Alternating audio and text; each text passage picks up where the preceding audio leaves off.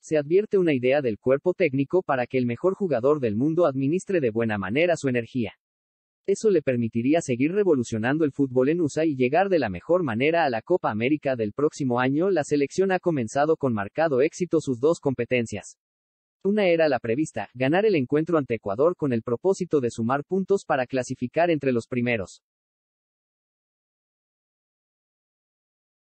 6 de Sudamérica. Esa es la condición deportiva para poder disputar el Mundial del 2026 que organizan los Estados Unidos, México y Canadá. De no entrar entre esos primeros seis la están disputando las 10 selecciones de la Conmebol que dará la extrema oportunidad del repechaje contra un equipo de Oceanía. Hay razones para confiar en que estaremos clasificados sin zozobras, más aún, anticipadamente. Haber aumentado en dos.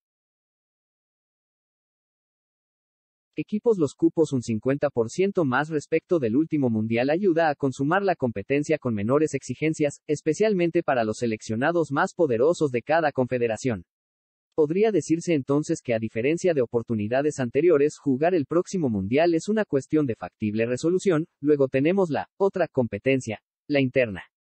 Se trata de aquella que ya han comenzado a librar. Los jugadores del plantel. Quedó claro frente a Ecuador que los titulares quieren seguir siéndolo y que los suplentes miran con ansiedad al cuerpo técnico para ver en qué momento son llamados por Scaloni para ingresar al campo. Y esta saludable circunstancia no la habíamos. Advertido en las anteriores elecciones argentinas luego de haber logrado las copas del 78 y del 86. Más aún, hoy y a la distancia podría decirse que una vez obtenidos aquellos excelentes campeonatos mundiales se produjeron las distensiones que suele generar la post-gloria.